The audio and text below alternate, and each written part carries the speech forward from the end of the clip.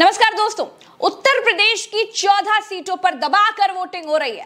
पाँचवें चरण में बीजेपी का हाल यह है कि अयोध्या की सीट को बचा पाने के लिए भी बीजेपी को बहुत संघर्ष करना पड़ रहा है।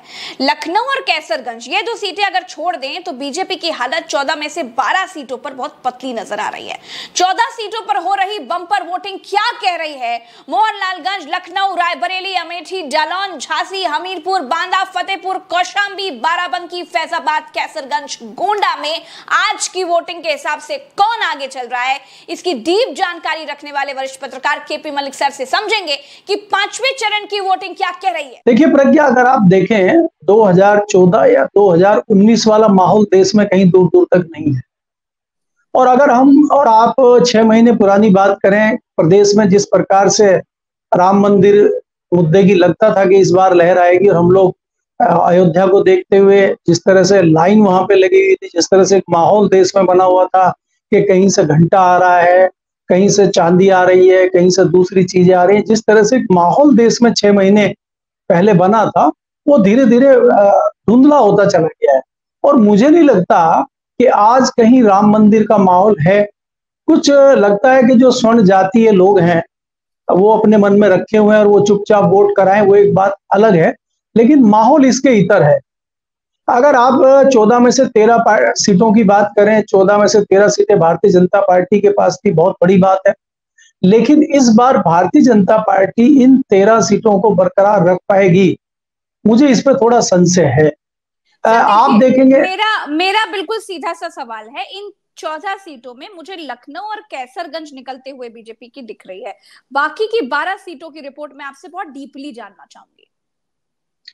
देखिए प्रज्ञा अगर आप देखें लखनऊ और केसरगंज की जो सीट है उनके दूसरे तमाम कारण हैं और लखनऊ की सीट पे इस बार कड़ी टक्कर होगी आप देखेंगे और अंतर जो बड़ा था वो छोटा हो जाएगा और इसका असर आपको केसरगंज में भी दिखाई देगा हम्म। केसरगंज में जिस प्रकार से आप देख रहे हैं कि वहाँ पे बदजुबानी हो रही है लगातार जिस प्रकार से उससे कहीं ना कहीं लोगों में एक तलखी है लेके कि जिस प्रकार से सांसद जी बोल रहे हैं और उन पे आपने देखा पिछले दिनों इतने लंबे चौड़े आरोप लगे तो कहीं ना कहीं लोगों के दिमाग में उनके प्रति एक नेगेटिविटी है उसका असर देखना इनको लाजमी पड़ेगा इसमें ये हो सकता है कि वो जीत जाए क्योंकि वो जीतने के तमाम कारण उनके पास है, उनका क्षेत्र है, बाहुबली है, तमाम किस्से कहानियाँ हैं, उसको आप हम, लेकिन उसको भारतीय जनता पार्टी के कोटे में ही लेके चलते हैं।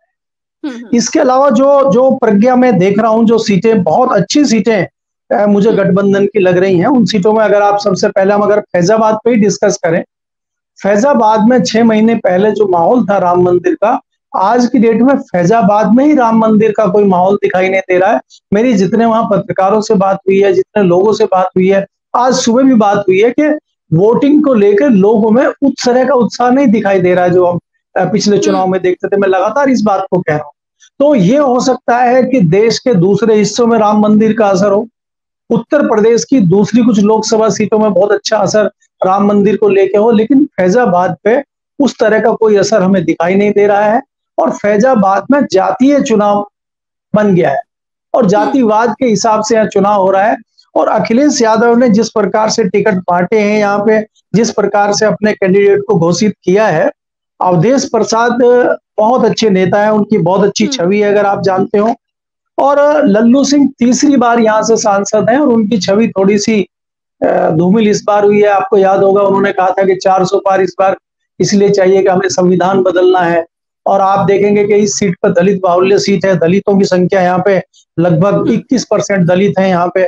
मुस्लिम समाज है लगभग 19 परसेंट। तो ये वोटर जो है ओबीसी समाज है लगभग 22 परसेंट। तो ये ओबीसी हम्म। दलित और मुस्लिम अगर इकट्ठा जाता है तो लल्लू सिंह के लिए ये खतरे की घंटी है।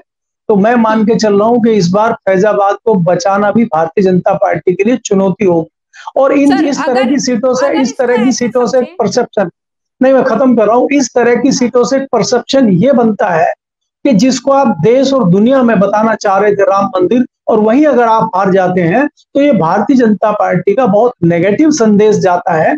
मैं ये कहना चाह रहा हूँ। जी आप हम्म, सर अगर हम इसको ऐसे देखें कि ये जो पांचवा चरण है ये दलित बाहुल्य क्षेत्र यहाँ पर ज़्यादा है राशन बेल्ट कही जाती है तो जो दलित वोटर पीएसपी से छटक कर राशन के नाम पर बीजेपी के साथ गया अब वो संविधान बचाने के लिए बीजेपी के विरोध में खड़ा हो गया है और जो संविधान को बदलने वाला है उसके खिलाफ वोट करने के लिए खड़ा हो गया है? देखिए प्रज्ञा इसमें दो चीज़ें हैं। एक तो ये जो मुद्दा है दलितों वाला, जो पाँच किलो राशन मिल रहा है, ज़रूर प्रभावित कर रहा है। इसी को समझते हुए गठबंधन और कांग्रेस ने इसको महसूस किया है और चुनाव के बीच में उनका पाँच किलो से दस किलो करना ये जताता है कि ये मुद्दा बहुत बड़ा मुद्दा है उत्तर प्रदेश में।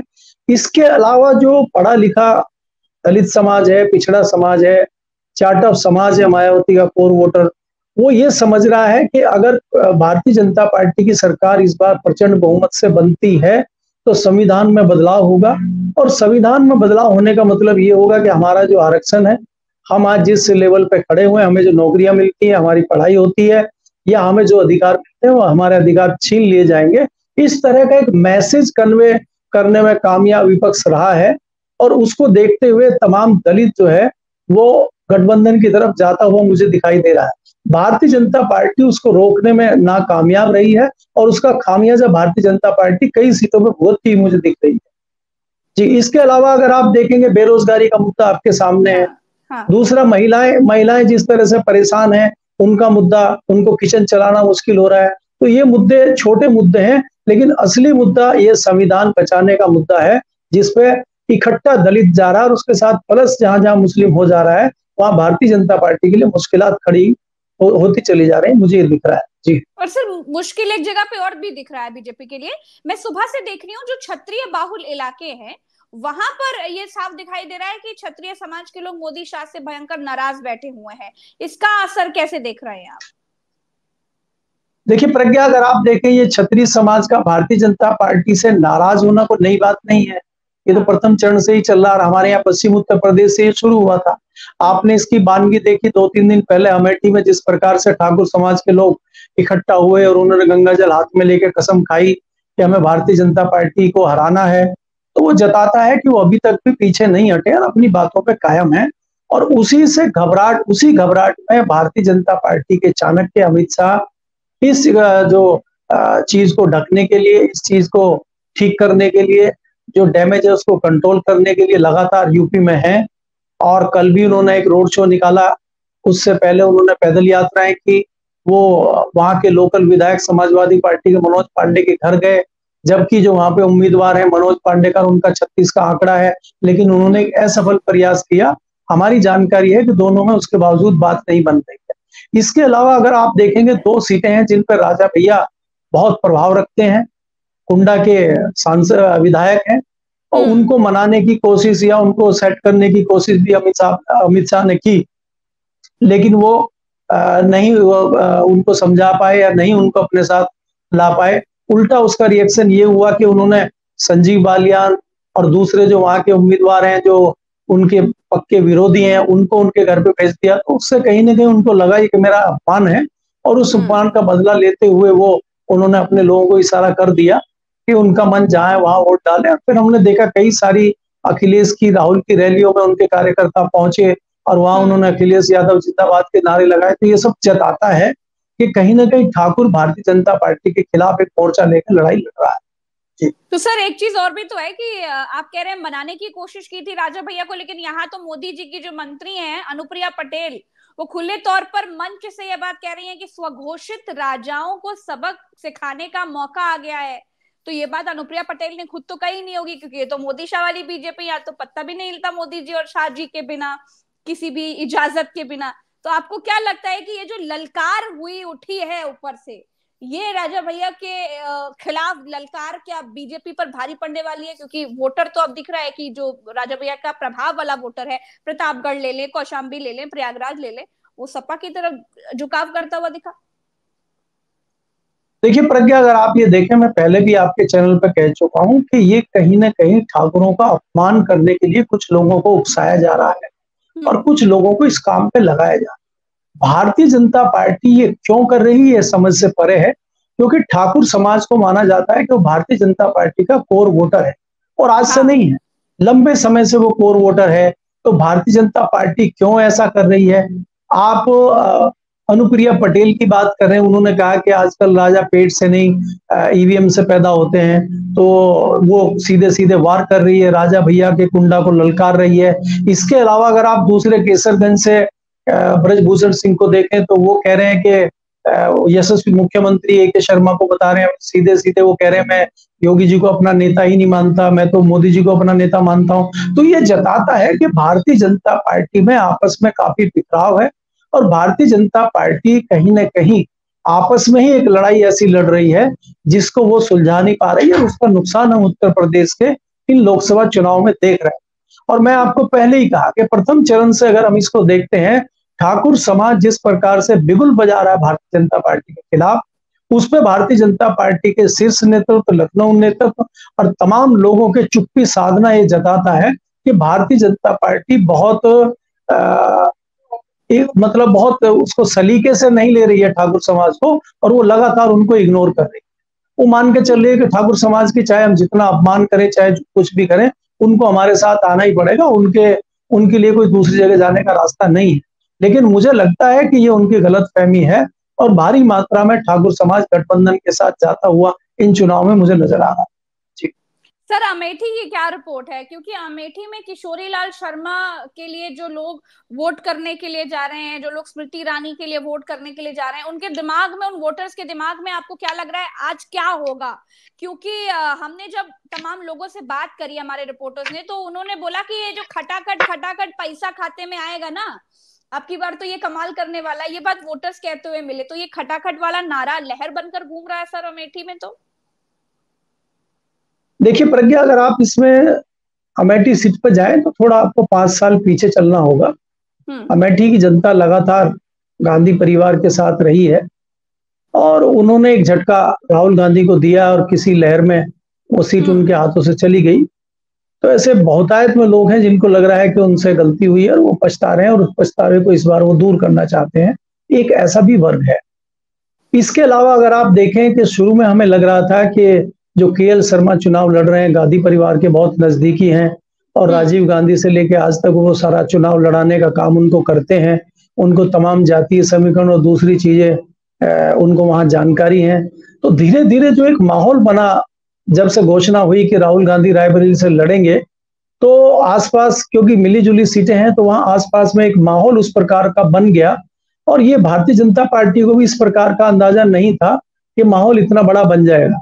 क्योंकि आपको याद होगा कि पिछली बार मोदी जी ने वहाँ पर रैली करी थी रायबरेली में और अमेठी में और इस बार मोदी जी की रैली कैंसिल होना जताता है हम्म। कि मोदी जी भी वहाँ नहीं जाना चाह रहे हैं कि कहीं ऐसा ना हो कि अगर वो हम्म। सीट हाथ से निकल गई और मोदी जी को फिर नीचा देखना पड़े इसलिए वो भी बचते हुए नज़र आ रहे हैं और जिस प्रकार से आपने देखा कि ठाकुरों ने वहाँ पे सीधा मोर्चा खोल दिया जिस हम्म। प्रकार से वहाँ पे जो तमाम विधायक हैं और उन्हीं की पार्टी की विधायक हैं जो खास अमेठी से ही हैं वो एक दूसरे समाज से आती है प्रजापति समाज से।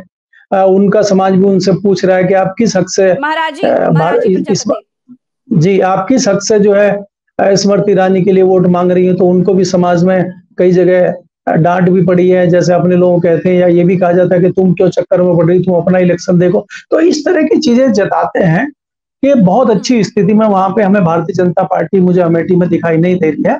और अमेठी की सीट भारतीय जनता पार्टी के लिए इस बार मुझे सीधे सीधे खतरे में पड़ती हुई नज़र आ रही है क्योंकि भारतीय जनता पार्टी के हम्म। जितने लोग हैं वहाँ सब हवाई वाले दिल्ली से गए हुए दाएँ बाएँ से आए हुए लोग हैं ग्राउंड के लोग भारतीय जनता पार्टी के साथ उस तरह से मुझे दिखाई नहीं देते जिस जिस तरह से लोकल लोग इलेक्शन में उम्मीदवार के साथ होते हैं जी हम्म।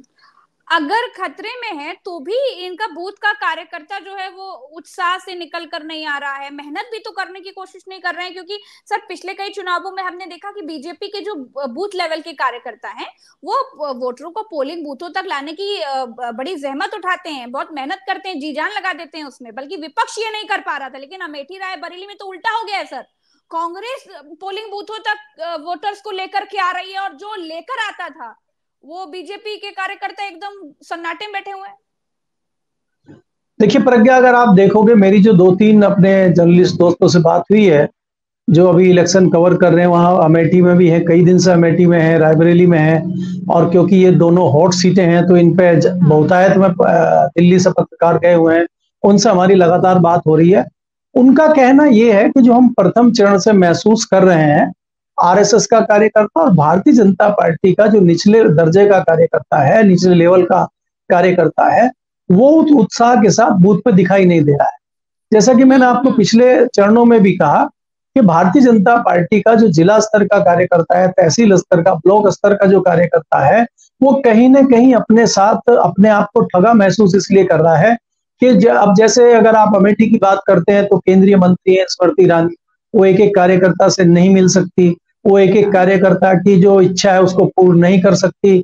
और हर एक आदमी के लिए आसान नहीं होता कि वो अमेठी से दिल्ली आ जाए या ये लगातार अमेठी जा रही हो और लोगों की इच्छाएँ पूरी करें उनके। देखिए, किसी भी कार्यकर्ता का छोटा मोटा काम ज़रूर होता है, उसके परिवार का काम होता है, उसकी अपनी नौकरी का काम होता है, उसके भाई बंद उसके किसी रिश्तेदार का नौकरी का, पुलिस प्रशासन का काम होता है। तो इस तरह से कई सारे लोग विमुख होते हैं। इसमें सबसे बड़ा कारण ये है प्रज्ञा कि जिस प्रकार से आरएसएस कहीं ना कहीं अपने लोगों को अपने कार्यकर्ताओं को संदेश इस बार पूरे चुनाव में देती हुई नहीं दिख रही है। मुझे लगता है कि वो भी बहुत बड़ा कारण है आरएसएस और उसके जो सहयोगी संगठन है, वो भी इस बार भारतीय जनता पार्टी के चुनाव से थोड़ा सा दायरा दूर रखे हुए हैं और डिस्टेंस बनाए हुए हैं। तो वो भी मुझे लगता है कि भारतीय जनता पार्टी के नुकसानदायक सिद्ध हो रहा है। अच्छा सर, अगर हम लोग रैलियों की बात करें, हमने देखा कल किस तरीके से प्रयागराज और फूलपुर में विपक्ष की रैलियाँ हुई और इतनी भयंकर भीड़ आई, इतना जनसैलाब था कि कैंसिल करनी पड़ गई नेताओं को रैलियाँ। राहुल और अखिलेश को वहाँ से जाना पड़ गया क्योंकि भीड़ अनकंट्रोलेबल हो रही थी। यहाँ तक कि लाइव रैली तक नहीं हो पाई। और एक तरफ़ मोदी की रैलियाँ हैं, मोदी के रोड शो हैं जहाँ पर पत्रकार इसलिए पिट जाते हैं क्योंकि लोग उनको बताते हैं कि हमको सौ रुपए देकर बुलाया गया और हमको सौ रुपए नहीं दिया गया, हमको सौ रुपए दिलाओ। बेचारे पत्रकार पिट जाते हैं इस चीज़ में। क्या कहेंगे सर? रैली रैली में क्या अंतर देखा? दिल्ली में एक वीडियो चल रहा है प्रज्ञा अभी दो दिन से कि जो अपने तिवारी जी हैं, वो वोट मांगते हुए गलियों में घूम रहे हैं और उनके साथ कपिल मिश्रा और दूसरे तमाम सहयोगी भारतीय जनता पार्टी के हैं। और एक पत्रकार वहाँ एक कार्यकर्ता को माइक लगाता है जो गले में भारतीय जनता पार्टी का अपना पट्टा पहने हुए है। तो उसको कहता है कि भाई आप किसको वोट देंगे? आप क्या? बोला हम कन्हैया कुमार को वोट देंगे।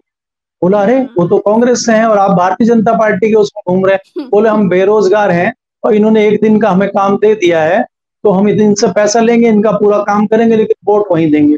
और वो खुलेआम कह रहा है। वो किसी से डर या घबरा नहीं रहा है। तो परिस्थितियाँ ये हो गई हैं ये जो आप भीड़ देख रही हैं चाहे वो राहुल गांधी की रैली हो चाहे वो अखिलेश की रैली हो चाहे वो तेजस्वी की रैली हो चाहे तमाम दूसरे नेताओं की रैली में जो इतनी भीड़ आप देख रहे हैं उसका सीधा सीधा कारण ये है कि युवा बेरोजगार है। और वो बेरोजगार युवा कहीं ना कहीं एक आशा की किरण गठबंधन में देख रहा है जिस प्रकार से उनके मैनिफेस्टो में ये चीज़ें आई हैं कि हम इतने लाख नौकरियाँ देंगे और जिस प्रकार से उन्होंने तो ये घोषणाएँ की क्या संदेश देती है सर? संदेश क्या देती है ये? ये मैं थोड़ा समझना चाह रही हूँ। ये रैली में आई भीड़ क्या संदेश देती है? नहीं, देखिए, रैली में जो सत्ताधारी दल की रैली होती है, उसमें ज़ाहिर सी बात है कि वो संसाधनों और पैसे के बल पे लाई हुई भीड़ होती है और विपक्षी दल के साथ अगर इतनी भीड़ आती है तो वो ज़ाहिर सी बात है कि वो बिना पैसे की भीड़ है और अपनी इच्छा से आई हुई भीड़ है तो वो रिएक्शन ज़रूर करेगी और वो वोटों में तब्दील होगी। इसमें गारंटी होती है क्योंकि उनको कोई लालच है नहीं और उनको कोई बुला के लाए नहीं, वो बदलाव चाहते तो दस साल की जो एंटी कॉम्बेंसी भारतीय जनता पार्टी की है और जिस प्रकार से भारतीय जनता पार्टी अपने वायदों पर खड़ी नहीं होती है नौकरियाँ युवाओं को मिल नहीं रही है और नई नौकरियों की जो भर्तियाँ निकलती है वो कैंसिल हो जाती है उसको देखते युवा कहीं ना कहीं खपा है। और दूसरा इसमें प्रज्ञा दलित युवाओं की संख्या बहुत आयत में है जिस रैली की आप करते हैं।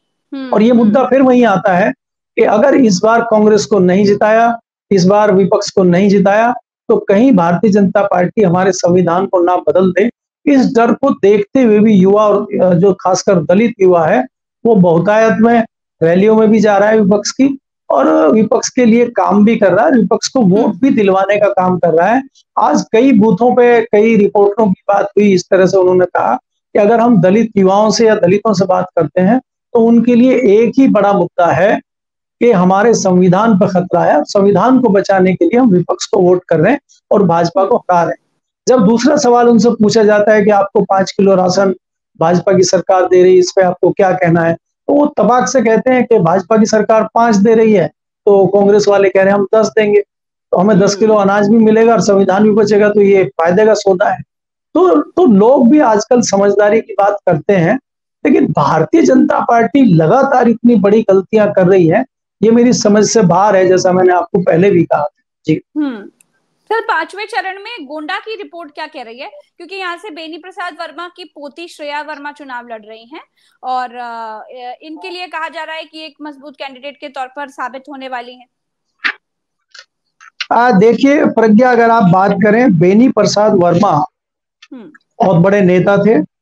पहले वो जनता दल में रहे। ये पहला पहला चुनाव है सर।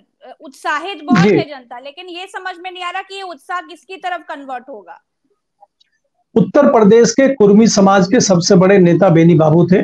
कई बार केंद्रीय मंत्री रहे और उनके लिए आ, लोगों के मन में उनके समाज के लोगों की तरफ़ से बड़ी श्रद्धा है। और जिस प्रकार से उनकी पोती आई है नई है और वो देखिए ये लोग भी मान के चलते हैं अगर दूसरी जातियों में परिवारवाद है तो बेनी बाबू के वंश से भी अगर कोई आता है तो हमें उसको आगे बढ़ाना चाहिए ताकि हमारे समाज की आवाज़ संसद तक पहुँचे और उसका समाधान हो। इसलिए इस जो समाज है उसमें खास एक उत्साह देखा जा रहा है। और अगर आप गोंडा की बात करते हैं यहाँ पे कुर्मी बाहुल्य सीट है ये। कुर्मी बाहुल्य सीट है और यहाँ पे जो बताते हैं कि कीर्ति वर्धन जो है हम्म। वो राजा साहब हैं और वो राजा के अंदाज में रहते हैं। उनका फ़ोन हमेशा स्विच ऑफ़ मिलता है। किसी खास ओकेजन पे या चुनाव के आसपास जब आप उनसे मिलने जाते हैं तो उनके घर पे पेठा मिलता है आपको, पेठा खिलाएँगे, पानी पिलाएँगे, और वो पेठे वाले राजा के नाम से वहाँ प्रसिद्ध हैं। इसके अलावा बाकी वो पाँच साल आपका ना कोई काम सुनते हैं, ना आपसे मिलते हैं।